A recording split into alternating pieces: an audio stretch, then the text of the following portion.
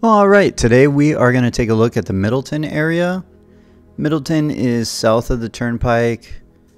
It is south of the Marsh Bend area, south of Sawgrass Grove. It will actually be connected with Sawgrass Grove uh, down Bexley Trail, and it's going to lead over that Turnpike Bridge that we've seen several times, which has the golf cart and the vehicle traffic. This you see right here, charter school, the K through 8. This is going to be the new charter school, uh, K through 8. They're going to have tons of fields around, baseball fields, athletic fields, football fields, soccer fields. They're going to be a pool, uh, all kinds of stuff. The Middleton area is actually directed toward families. They wanted to create an area in the villages where the families that work in the villages will have an opportunity to go and their kids can walk or or ride bikes to school. Uh, everything's in one central area. So there will be a downtown area, and I'll point that out a little bit later. But it will be centered around this, and then the residential areas will be right around it. There you see the high school. And then this is one of the residential areas down here on the south side as we turn where this big patch of dirt is here. This is one of the residential areas and then there's several parks through here. And I'm going to be showing you as many as I could find. There's the Mackinac Park. If you didn't know, uh, the families are from Michigan, so a lot of the parks and things like that are named after locations in Michigan. Um, and then a lot of the street names are your village's sales agents. It's their names. They have to sell a certain number of houses or whatnot to get their name on a road.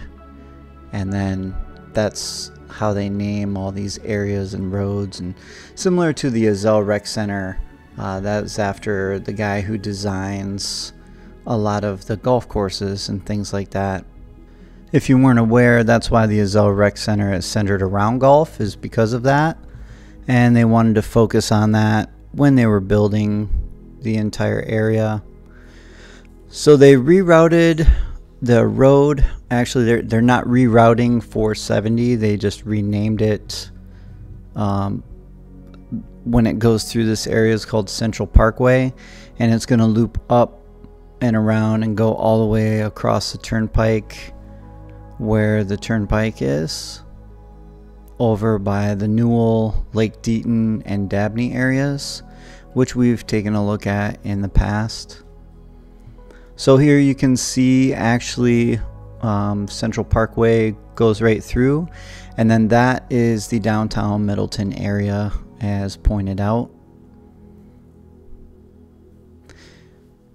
I'm still unsure, I'm pretty sure most people are, about why they rerouted or they're rerouting 470, but I would assume it has something to do with the federal prison, Coleman Federal Prison, being less than half a mile away from this place.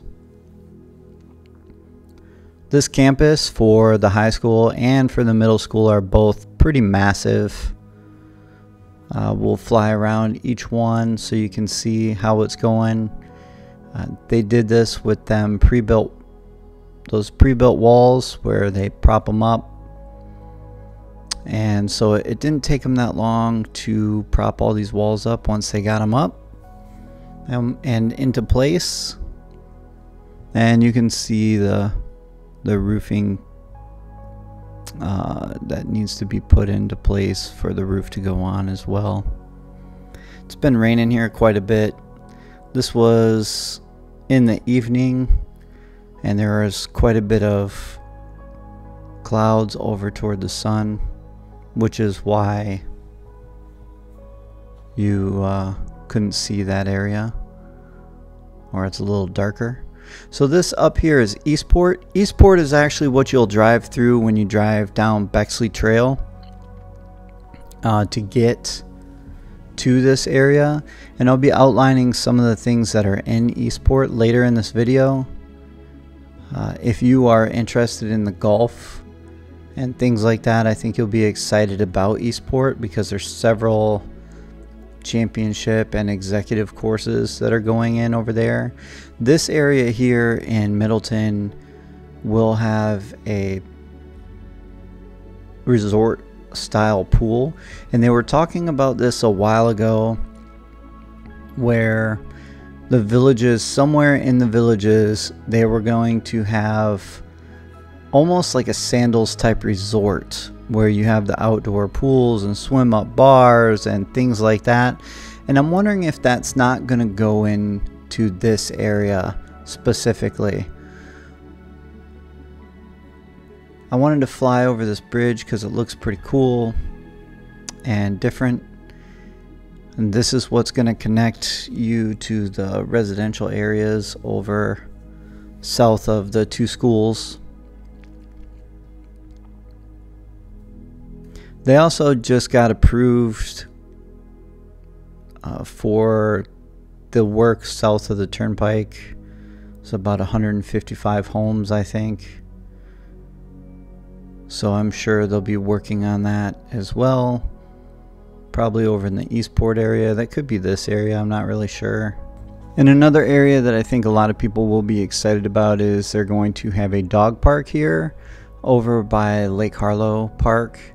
So it'll be called the Lake Harlow Dog Park, obviously, but it'll be kind of separate and that's what they have on the map currently. Everything that the villages does when they develop these communities, even if they put out the area maps and things like that, they can change them anytime they like. So until it's actually built in the villages, and I think this is important for people to know, if it's not built yet, it's not set in stone. They can change anything uh, at any time. So if you're looking at an area and you think it could be set this way specifically, there's a there's a chance that they can change things on you.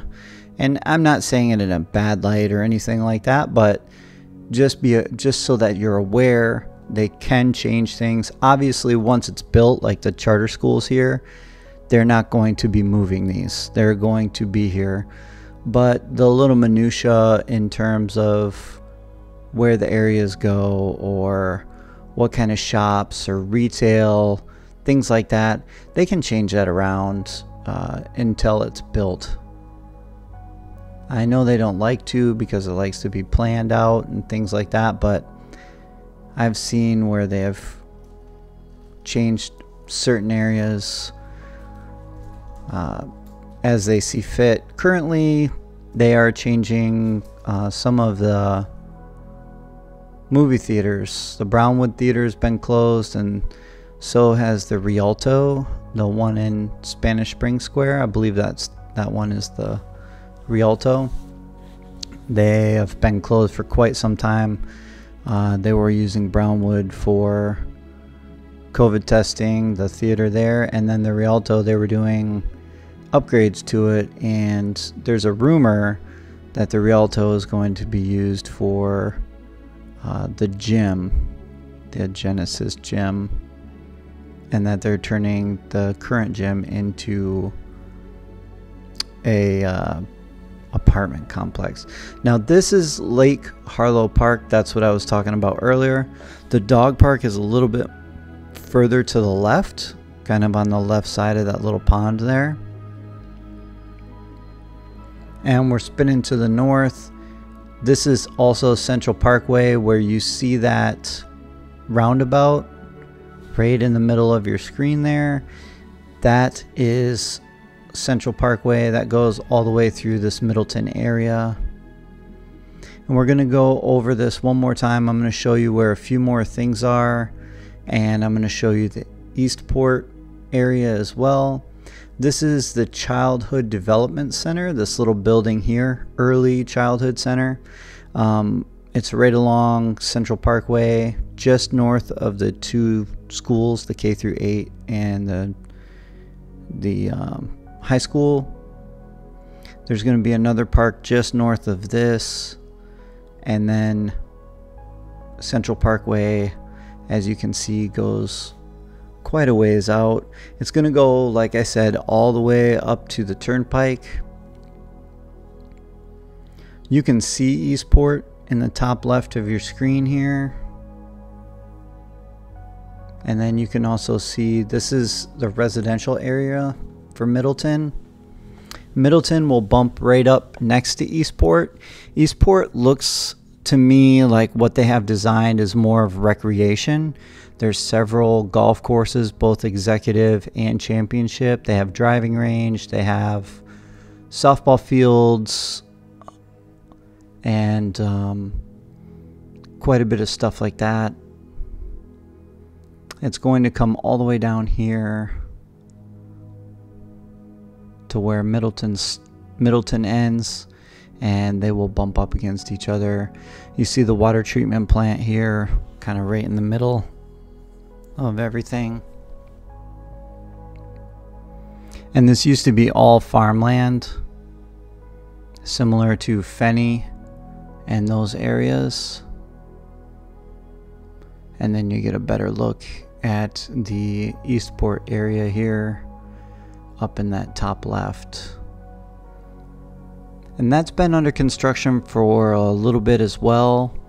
I'll try and get a better video of that, but you can see some of what Eastport's going to have to offer.